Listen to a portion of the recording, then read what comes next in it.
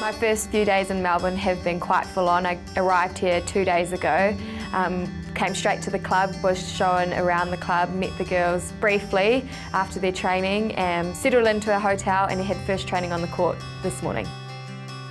So I'm from Napier in New Zealand, Hawke's Bay, which is on the east coast of the North Island.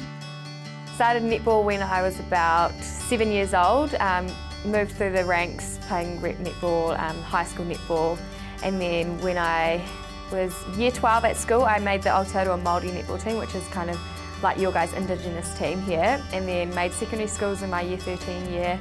Went through and played our Beko League for two years, which is like your ANL here. And then last year was my first year in the ANZ Premiership. And then this year I'm second year with the Tactix, and then I'm here in Collingwood.